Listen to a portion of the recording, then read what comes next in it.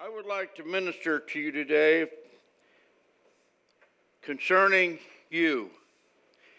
Yes, this is Armed Forces Veterans Day, but who are you?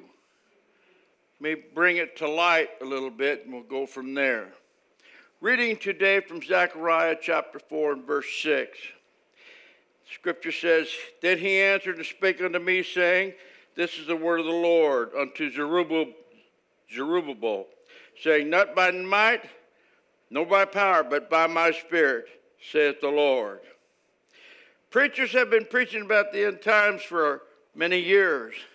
I remember pastor in California when I first came to, to the Lord in the 70s, and he was preaching about the end times are coming, and I can't wait.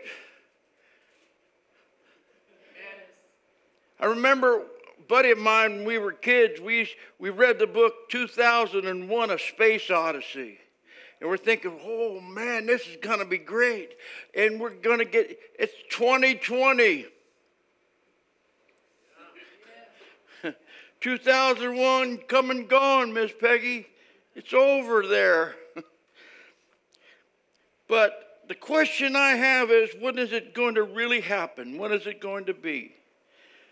And I'd like to take a moment to bring something up for you to think about, for you to put in your mind and your heart. How are we going to live and face these troubling times? We just went through the election, and there's all kinds of things on the news and in the newspapers and the magazines and everything about how that Biden is a super champ and how he did all this. And there's all this other information about how Trump is going to file a lawsuit. He's going to take it into the hands of the court and, and do this to get the votes recounted. And it's a back and forth, back and forth, back and forth. But I am here to tell you it's time for you to put on your armor. Amen. What's the armor? The helmet the breastplate, so on and so forth, right? First of all, we've got to remember that as long as we're living for God according to the scriptures, not but what our minds say, but according to the Word of God, we're doing that following the rules in the rule book, then God will help us through it all. Now, I, I did a little research. Uh, I couldn't quite figure out all of what he was saying here, Zerubbabel. But what was said here is the there was an angel that came to, to the prophets and they were talking, they were doing, and he was trying to get it understood and carried away to understand that this stuff happens by my spirit, saith the Lord. Because what was happening is that the temple was being built and it was you know, hands and knees and hammers and the whole, all of what they used, construction tools in those days to build this. But the scripture goes on to let us all know that was by his spirit. And the spirit power, I want you to understand me today that it's the spirit. If the spirit is not pushing you and shoving you and in you and filling you and giving you direction and giving you the right mind to think you need to stop and pray and get it back. Because it's the spirit that moves within the man to build the temple. It was the Spirit of God that moved to strengthen, to, to get things to really happen. Because, see, the scripture teaches us completely in Ezekiel chapter 4 not by might nor by power, but by my spirit, says the Lord. You will succeed because of my spirit. Amen. Though you are few and weak, therefore no mountain, however high, can stand before Zerubbabel for it will flatten out before him, and Zerubbabel will finish building his temple with many shouts of thanksgiving and God's mercy, declaring that it was all done by grace alone. Another message that I received from the Lord says Zerubbabel laid the foundation of this temple, and he will complete it. Then you will know these messages are from God, the Lord Almighty. Do not despise this small beginning, for the eyes of the Lord rejoice to see the work begin, to see the plumb line in the hand of Zerubbabel, for these seven lamps represent the eyes of the Lord that see everywhere in the world. By his Spirit. By his Spirit. Now, there's a lot of us, most of you know that I was in the building trades for many years, and, and some of you kind of look at me a little funny when I shake your hand because I forget not to be easy sometimes. I don't mean to, just something that comes with time. But we've got to allow God to move. The Holy Ghost will be our constant companion as long as we're living according to the scriptures. The Spirit is, let me put it in military terms for you. The Holy Ghost is your battle buddy. He has your back. He has your flank. He's your point man. He's your company commander. He sees everything that's going on, and he even knows when the enemy comes to cause trouble or to hit you or to cause trouble within your life. The enemy has long, too long, troubled the hearts and the minds of mankind throughout the years. I can tell you this that I have had many fights and I don't want to fight no more. I just want God to lock him up.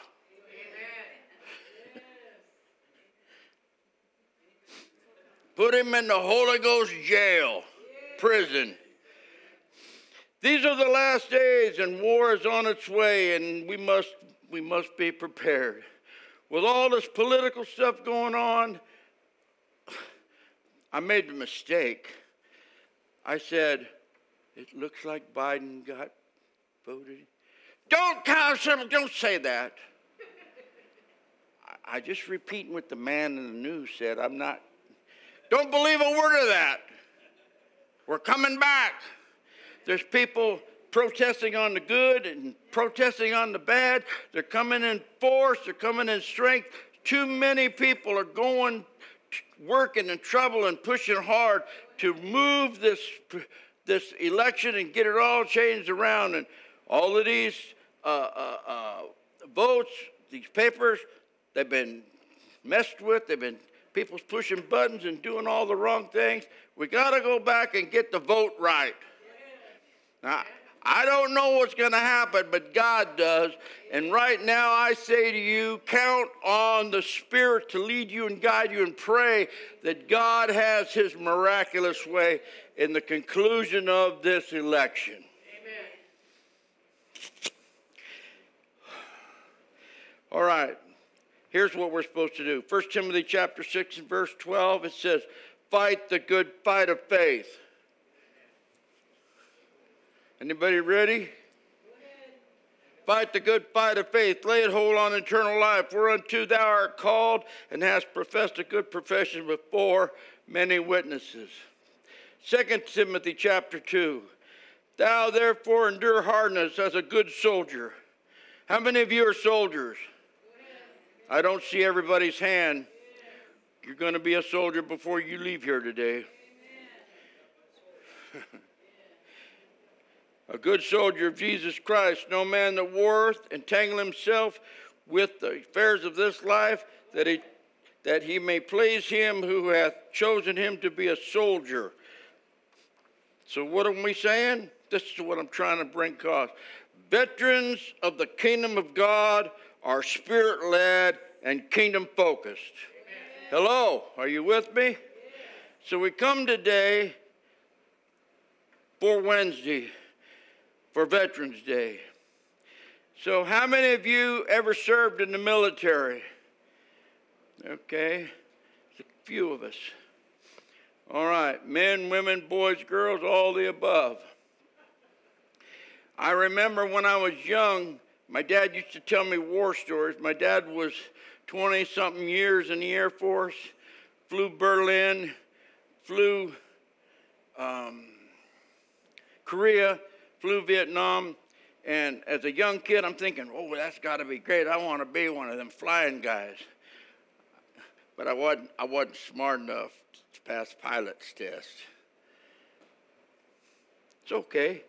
somebody else can do the flying, I'll just do the riding. that seemed easier, huh? so we thank and honor all of those who served and gave their hearts and lives when they enlisted in the military. Because there's many, as Pastor said earlier, there's many who never returned. There's still, there's still uh, festivals and, and times of remembrance and so forth for grandpa and this one and that one that, that served and gave their lives and all of that business against Nazi Germany, against Japan, against all of these people that were trying to take over the world, so on and so forth. Amen. How many of you didn't serve in the military but had someone that you're with that was in the military? Okay. Okay. Well, what are we to do? We enlisted in the battle of World War I, World War II, Vietnam, Iran, Iraq, on and on and on and on. But I'm going to tell you, ladies and gentlemen, saints of the Most High God, we're in a battle that does not use guns and bullets and bombs. We're in a battle that uses bad spirits to cause problems, to cause troubles, to bring sickness, to bring problems into our life. But I stand here and say before you today, we are going to take a stand against the wiles of the devil and we are going to be victorious as long as we let the Spirit move any way He decides is proper. Hello? Hello? If you are not ready for that, you better get ready because that's where we're going today. So, what do you do? You enlist. How many have enlisted in the armies of the Holy Ghost?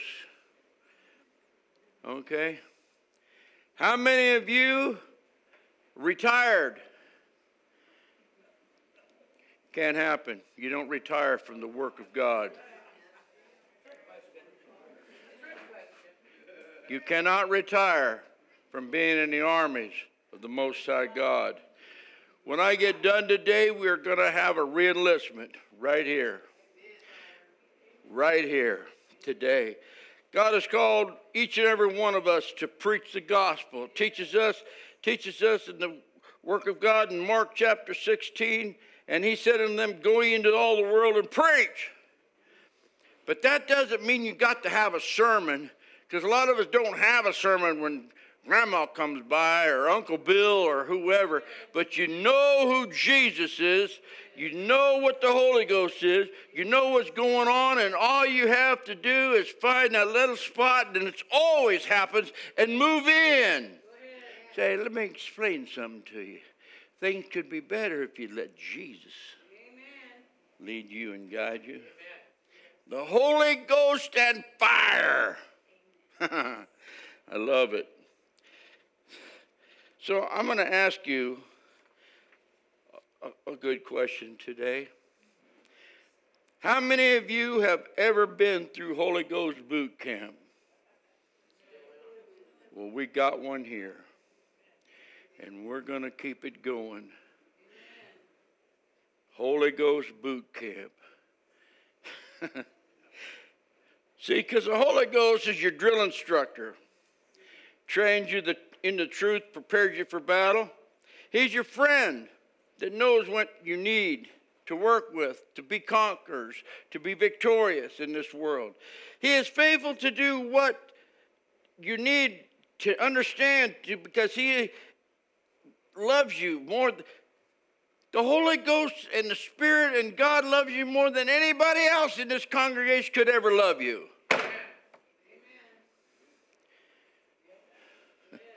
You know, I thought once, who could love my wife more than me? Him. I wanted to anyway, anyway. He will not allow you to be a POW. As long as you pray daily and stay close to Him, He'll put you, take you out of the battle whenever it's possible. How many know what R and R is? Somebody tell me. The Holy Ghost can give you R and R if you're close and tight with the Lord in the battle that we are facing every day. How many love watching the news? How many of you love driving on the freeway right after work? Only God can help you pull through those times. I was on my way someplace and I couldn't figure out why is everybody going so slow? Everybody got off of work. I don't know. I don't understand this. The speed limit says 35, not 3.5. Hello? I don't understand. Our enemy will try to separate us every chance he can, everything. Try to find something that confuses your mind, up, messes up your positive thinking, gets things going crazy. Our enemy is Lucifer and all his little buddies. He will say that you've been abandoned. He will say, Let me tell you what he tells me all the time. He tells me that I'm a no good, worthless, useless piece of old, moldy, something rather poop. All the time. I hear that from the adversary all the time. I, I fight daily with that issue. I don't know how you are. Anybody here suffer with depression? Have issues with depression? Or am I the only one?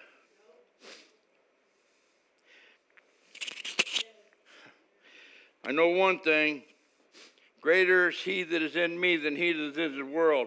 But I keep forgetting that when the problems get hot. When the fire gets hot, I should remember and I should know, and I am hard headed, knuckle headed, and I forget and I go, why me? Anybody ever do that?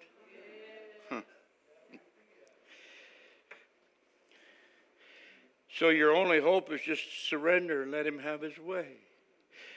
Never should you yield to those lies. Your enemy is heartless and cruel, and he has no mercy, and he will beat you down and seek in every in any which way he can to destroy you, to cause troubles. Have your children depending upon your age. Have your children come against you. Have your wife come against you. Have your husband come against you. Your relatives, on and on and on everywhere you go. When things seem to be going just right, it seems like the boss at work has got something. Huh? Anybody ever walk in them shoes? or do I have the only pair?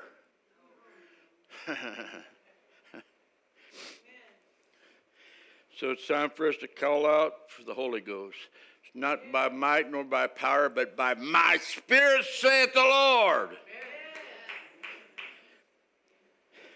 You know, if you're wore out and if you're tired and if you're run down and it seems that all you got is just that still small voice, God will hear and send the reinforcements.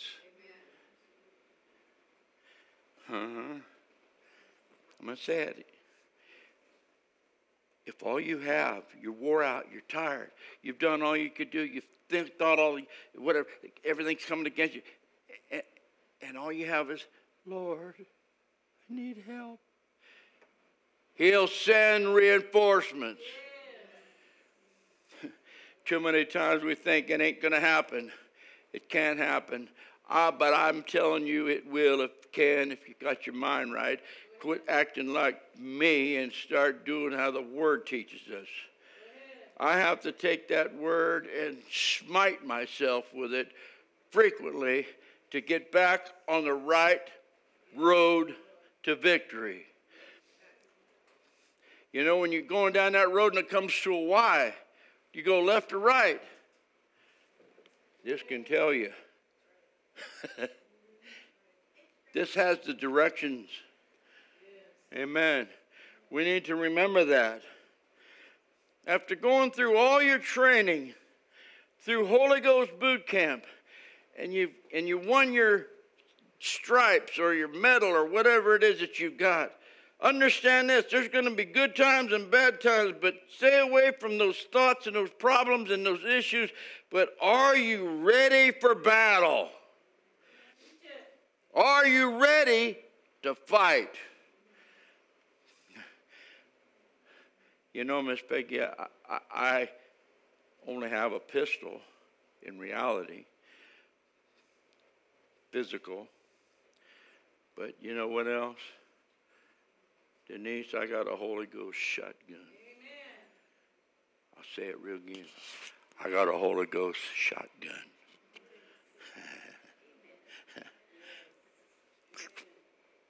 Anybody ready? now, when you're in the battle and you're in the midst of fighting, you can always call upon the Lord. Seems to be too often, too many times, every one of us, including me, we forget to call upon the Lord because it seems like everything comes against us. Our mind's on it. We can't think. We can't.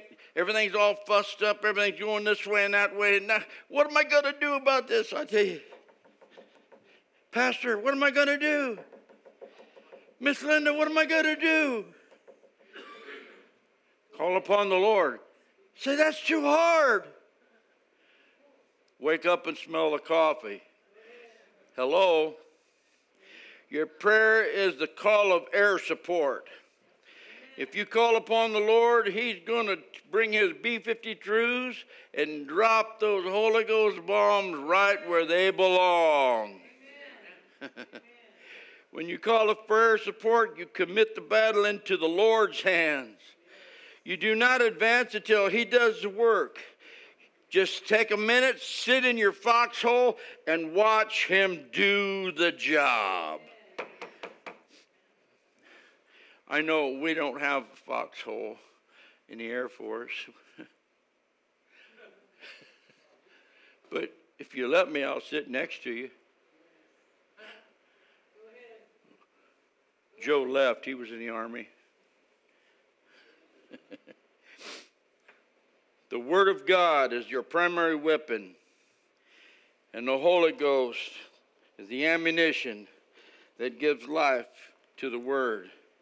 The problem is that many have the word and are defeated, for they lack the Holy Ghost and refuse to let the Lord work in the life giving power of the Word of God. Forsake those who deceitfully use you and, and, and call upon the name of the Lord. And it's not by might, not by power, but by my spirit, saith the Lord. I'm going forward. I'm going to make it happen. The problem is that many have the word, they're still defeated because they don't go to it. They lack the Spirit to lead and guide them, to set them on fire, to load them with life giving power. Anybody ever been shot by the adversary and hurt? The Holy Ghost is your medic. When you've been wounded, He comes and brings healing. He is a radio man that takes all your calls and all your messages straight to headquarters. And there's no static or communication problems. See, for God is commander in chief, will bring us victory and it will be victorious. I don't want Biden. I don't want Trump. I want God Almighty. Who's your president? Jesus Christ and Him crucified. Never forget this. Only through God's Holy Ghost can a Christian accomplish the amazing works of the Lord.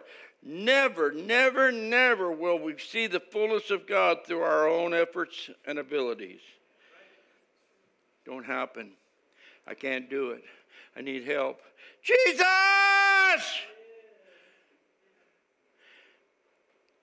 How many have to be quiet at home?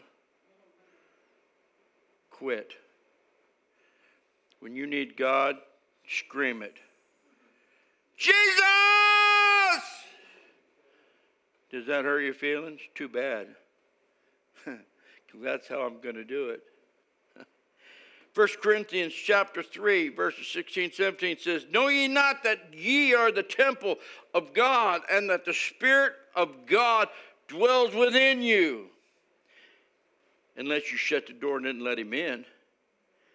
But he's coming in. If you do it right, live right, he's coming in. If any man defile the temple of God, him shall God destroy, for the temple of God is holy, which temple you are. I'm coming, and I'm coming, and I'm coming strong, I'm coming fast, and I plan on getting with the program. So get out of the way. Get out of the way. Now we've all been together a long time. Many of you seen me up, some many of you seen me down, many of you seen me in between. Some of you don't even know if I'm going the right direction. Neither does Pastor. That's why he's got to knuckle my head around sometimes.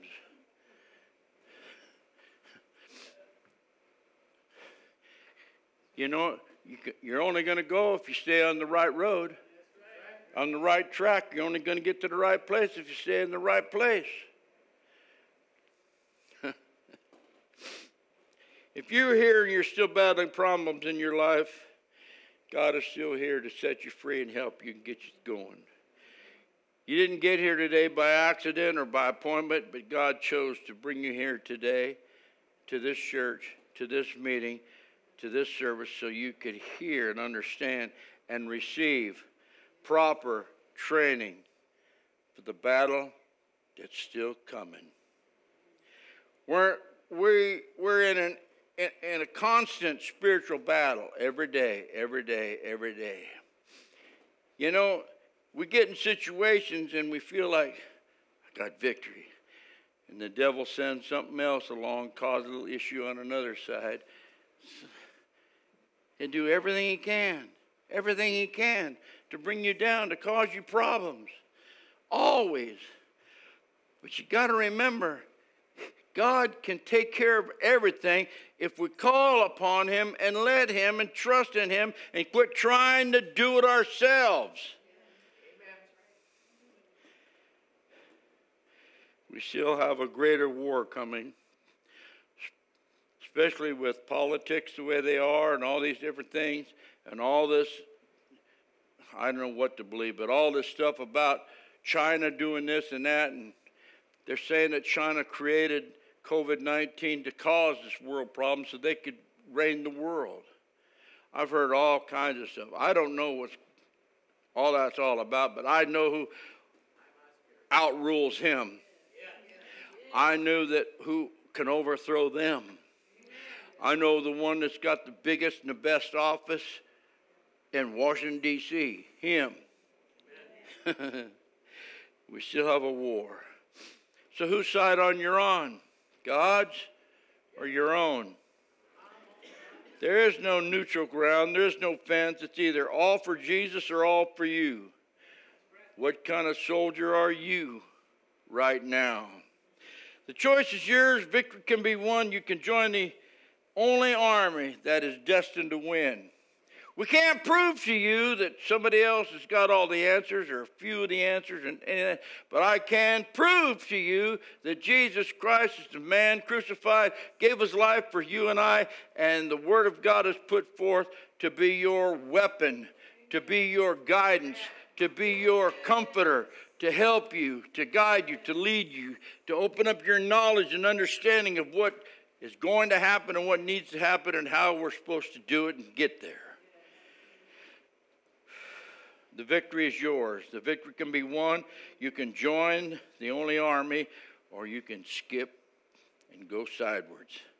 Why not surrender to the Lord? Why not give yourself to Him? He loves you, and He, he wants you to be on the winning team. He will help you to overcome sin, addictions, and habits. He has all the power to set you free forevermore. How many of you have had something in your life that God delivered you from permanently, forever, forever, forever? All right, think about it. As we give ourselves to God, He will use us in greater ways than you can ever imagine. We simply just need to understand to be willing to continue Continue. You like that? Continue. That means you've been doing it now for a while. Continue to do the work of God called you to do, not to quit. Amen. What are you going to say to your brand new neighbors about the house next to you? what about that lady that ran you over with the shopping cart in the grocery store?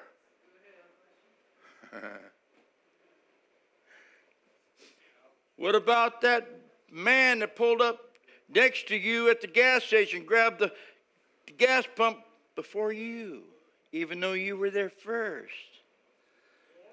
Hello? What are you going to say to them? How are you going to react? What you going to do?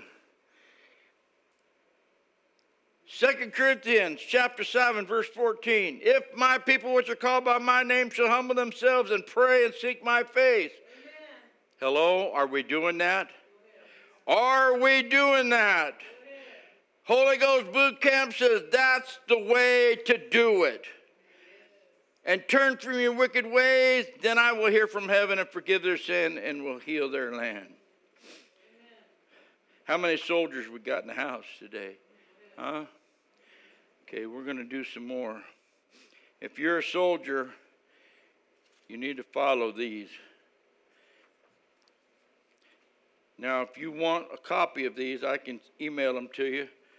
Or Miss Linda, she's got it all. She made a couple of copies, I guess, but not enough to go around something. Anyway, here, the, here, here it is. If you want me to go slow so you can write them down, that's good too. But here it is. I am a soldier, a prayer warrior of the army of my God. The Lord Jesus Christ is my commanding officer. The Holy Bible is my code of conduct. Faith, prayer, and the Word are my weapons of warfare. I've been taught by the Holy Ghost, trained by the experience, tried by the ad, ad, uh, adversity and tested by fire. If God needs me, I'm there. I'm a soldier, a prayer warrior. I am not a baby. I do not need to be pampered, petted, primed up, pumped up, picked up, or pepped up. I'm a soldier, a prayer warrior. No one is to call me, remind me, write me, visit me, and taste me or lure me. I'm a soldier, a prayer warrior. I am not a wimp. I am in place, saluting my king, obeying his orders, praising his name, and building his kingdom. I am committed. I cannot have my feelings hurt bad enough to turn me around. I cannot be discouraged enough to turn me aside. I cannot lose enough to cause me to quit. When Jesus called me into this army, I had nothing. If I leave with nothing, I still come out even.